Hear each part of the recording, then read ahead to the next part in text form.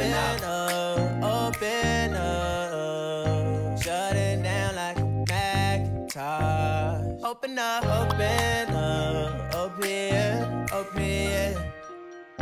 Cold as ice and Coca-Cola. Hi guys, welcome back to my channel. It is Glamour by MJ and guys, actually this is my second time doing the intro. The first one, it was out of focus and I'm glad I checked it because I literally have four minutes before I leave out the door. That is crazy and I am late to work. But anyways, anything for my glam squad. Um, I'm gonna keep this outro, this intro um, pretty short. I did a soft glam eyeshadow look. This was requested from some of my Instagram followers and my Facebook friends. And I did this look a couple times on my clients and you guys and you guys seem to really take to it. So you guys requested that I do it on a YouTube look so you guys can look at it and learn it. So I said why not film it for you guys. This look was really fun, soft and quick. So if you guys want to know how I got this look then please keep on watching. Okay guys, so first of all, welcome back to my channel. If you are new, welcome, and if you are old, welcome back. I am doing a one of my signature looks. This look was requested from some of my Instagram followers and some of my Facebook friends. This is a soft nude look, a everyday soft look that you guys can do and it is very beginner friendly and um, I did my skin off camera as you guys can see. If you guys want to know how I do my skin, you guys can click the link in my description bar below. That will take you guys step by step on how I do my skin. We are just doing this eye today on camera and the lip and yeah, just the eye and the lip. So I'm going to go ahead and start on my eye. So first guys, I took my CoverGirl Undercover um, concealer. This one is in the shade, hold on guys. So I took my CoverGirl under, I took my CoverGirl True Blend Undercover Concealer in the shade T700 Caramel. And I use this as a eyeshadow base or as you want to call it a primer. Then I'm going to be taking my Morphe M173 brush to buff and blend it out. Definitely, if you guys want to see how I completed the skin, click the link in my description bar below. On my last video that I did, I did my updated foundation highlight and contour routine. Very thorough. That is how your base should look. Some people like to use lighter bases, like literally white ones. Um, that's just not my preference. You know we do what works for us. This is what works for me. Alright guys so first I started off with this Morphe times Jeffree Star palette. This shade right here is called Hi Dude and it's a deep dark brown shade. And I'm going to be taking that shade with my e.l.f. Cosmetics eyeshadow brush. It's like a flat um, a flat brush one of these ones I'm just going to take this and I'm just going to tap off the excess and I'm going to start to tap it on into my crease. I'm going to start on my outer V and work my way up into my crease but I'm not going to go typically, I'm not going to go directly in my crease. I'm going to go a little bit above it and kind of create this arch.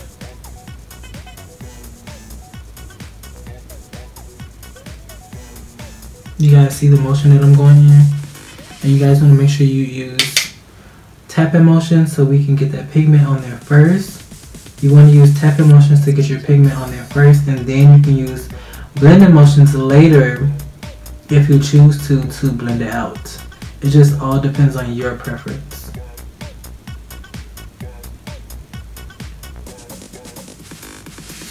So you guys see the motion that I'm going in?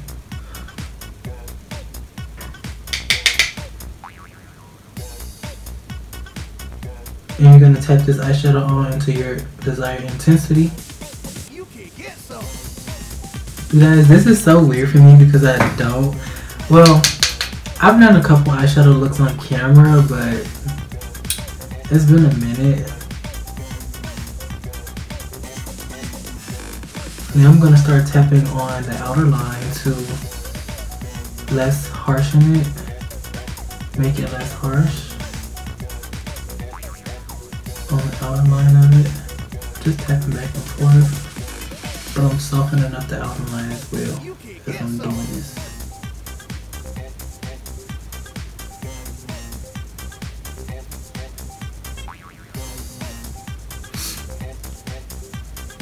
I'm gonna deepen it up a little bit more. So guys, now I'm gonna be going into the Zulu palette by Juvia's Place, and I'm gonna be taking this um, brown shade in here. This is like a neutral, like warm tone shade, and I'm gonna be taking that on a Crown Pro C512 brush. I love this brush. I normally actually start out with this one. No, I'm sorry, my other crown brush that I did not use today. The Crown C511 brush. I was actually looking for this brush earlier. Couldn't find it. So now I'm going to start tap tapping on my lighter transition shade on top of the darker one. And I actually picked up this technique from my best friend B. Marie. Um, I just wanted to try something different. I'm always looking for different ways to blend. I picked up some ways from Taylor Made Jane. Um, and she was the one who taught me the inverse method and the tapping motions.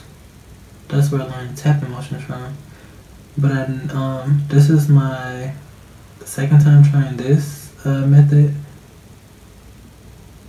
Where I'm just tapping on the lighter shade right on top of the darker shade. I don't normally do it like this, but I like how it came out when I did it on one of my clients.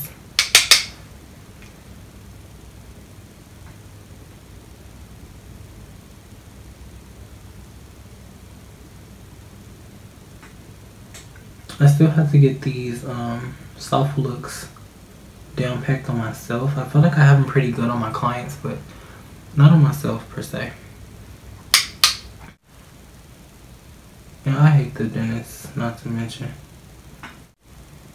I'm gonna make sure I take this lighter shade in the front as well.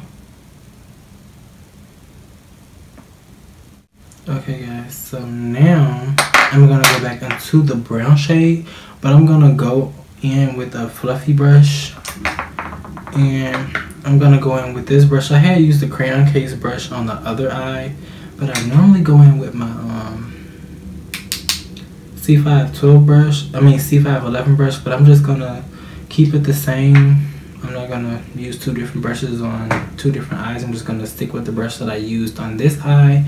But I normally would go for my C511. But I'm gonna go in with this um, crayon case brush. And I'm gonna go back into that dark brown and blend it up into that Juvia's Place transition shade.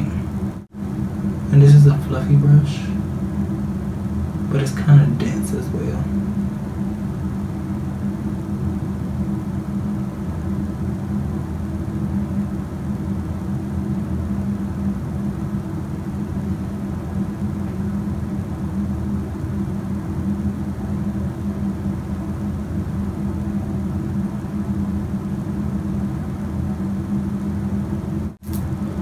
I'm going to be going back and forth between the two colors until I get my desired blend. So now I'm going back into the Juvia's Place transition.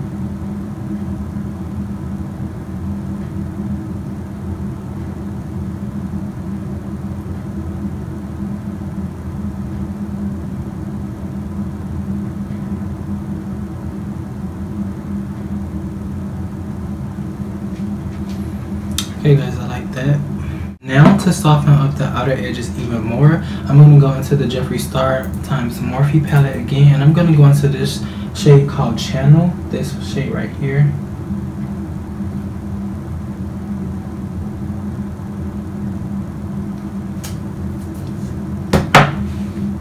I know it don't say Chanel, it definitely say Channel.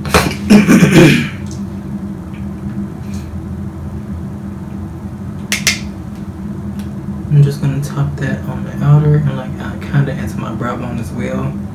But I'm really using it to soften up the outer edge. But also using it as a brow bone highlight as well. It's going to make it look really nice and soft and really blended.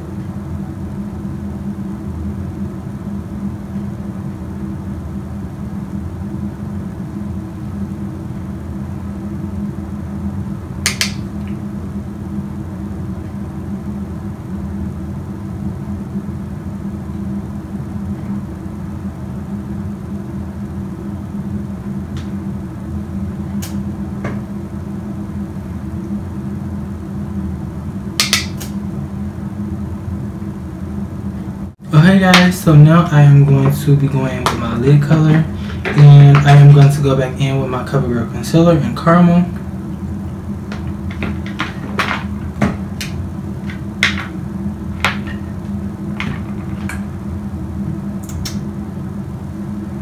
Just gonna tap some on my lid, my lid color. I'm gonna be going in with another crayon case brush. This brush set came in a seven piece. If you guys are interested in it, I'm sure it's really still on her site. I will link it down in my description bar below. I will list all of my products down in my description bar below, including the skin, even though it wasn't on camera. Because I did use a different foundation and a different primer for my last routine, but same steps. Now Back into the Jeffree Star palette and I'm going to be taking this palette called Lynn. This is Jeffree Star's middle name. Lynn. I've honestly throughout the past, I remember last year in February, I created some bomb ass looks with these brushes these crayon case brushes. So really, guys, get your hands on them. And this palette is really pigmented. That's why I kind of tap off the excess. Plus, I'm trying to avoid dropping as much fallout on my face as I can. So I'm tapping this into that brown transition shade as well. Just so it can blend cohesively.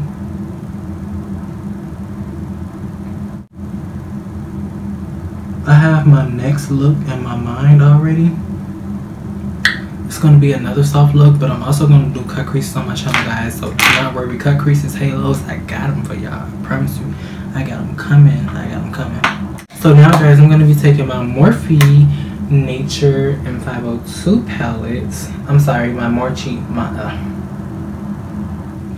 my Morphe 3502 Nature palette. And I took this shade right up here to blend out that um, white and dark brown transition shade. You guys will see where I tap this at to see what I'm talking about. But I took this shade right here. And I'm just going to tap it right in front of the dark brown and into that white nude shade. Just so it could make a better transition between the brown and the white.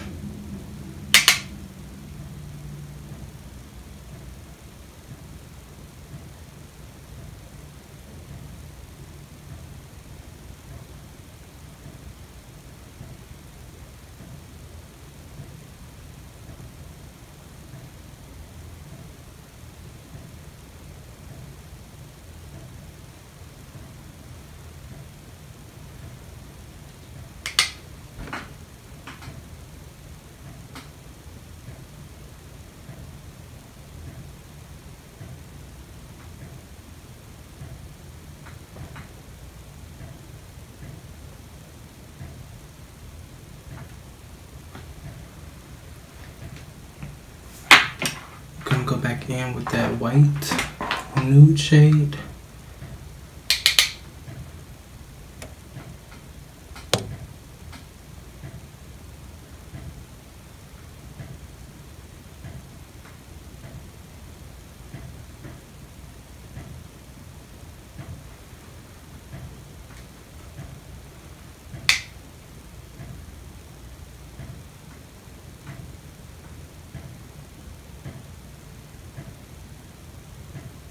Okay guys, so now I'm going to take my Wet n Wild Mega Eyeliner and I'm just going to go across my eyelid as you guys see I did on the other one.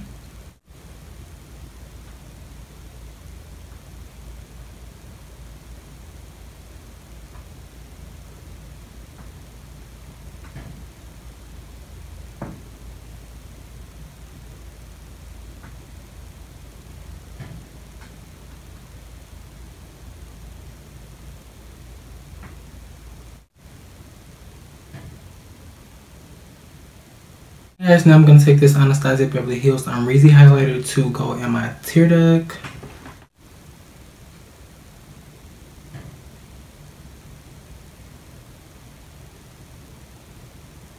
And I'm going to blend it into the shadow. Just like that.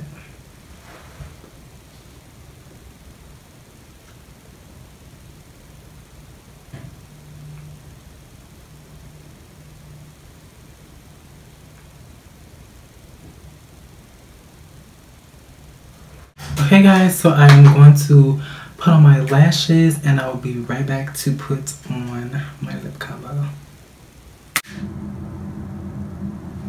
Okay guys, so the lashes that I have on is from a line called 3D Mink Lash and it's called Miss Lash and I have on the number 6.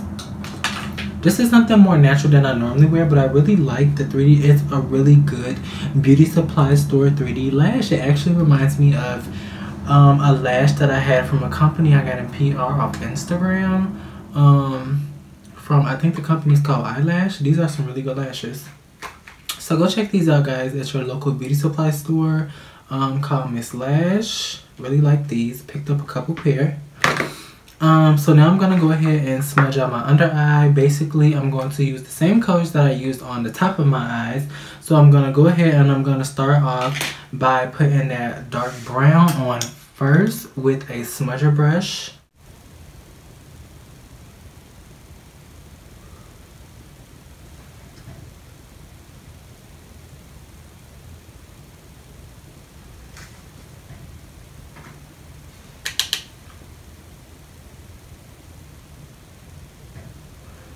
And I just took that all the way to my tear duct basically. Okay guys, so now I'm going to move on to the next shade, which is from the Juvia's Place palette. And I'm going to tap this right on under that dark brown.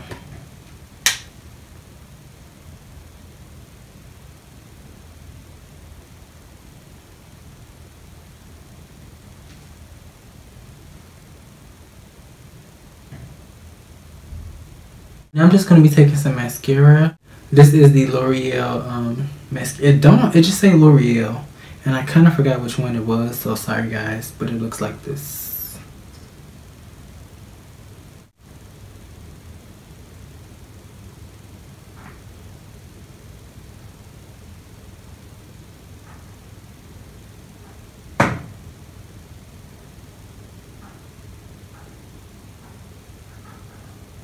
It's actually a really good mascara. When it comes to mascaras, I really don't, um, I really don't invest. When it comes to mascaras, I really don't invest because just the mascara, I wear falsies. So I really don't care. Okay guys, so now it's time for a lip combo and you guys know I said in my last video that I was not going to ever trade on my Nicka K lip liner but I have not um, been back to the beauty supply store to find another one. Well actually I did go to the beauty supply store today and I went another time last week. But anyways, couldn't find the Nicka K pencil so I'm just going to have to wait till I go to a specific beauty supply store where I know that they'll have it. Um, sometime next week I'll be going to re-up uh, but until then, I have this NYX Professional pencil, and this is just in the shade dark brown, and it's kind of similar to the Nicka K one, a little richer in color, but I really like the Nicka K color. But this will do.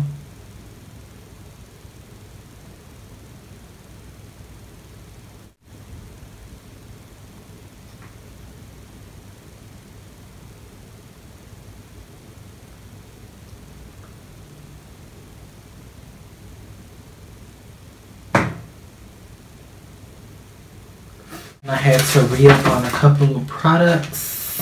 Um, but today I'm going to be using this lipstick in Cream de Nude. This is actually my first time having Cream de Nude. I've always wanted it. I just never been back to get it. But I'm going to be using Cream de Nude. Uh,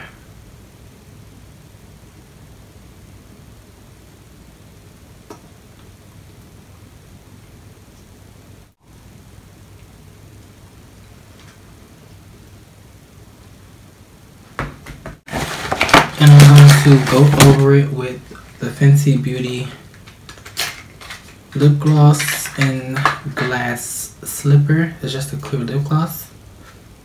The shade is glass slipper. I'm so glad that she came out with a very uh, like a true clear lip gloss because she had the the diamond one but it has like diamond reflex in it but it was still kind of like clear but i'm glad she came out with like a crystal clear one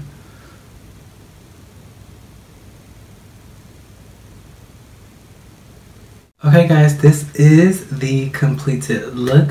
I'm gonna go ahead and get dressed, run through my hair really quick with a flat iron, and I will be right back with the outro.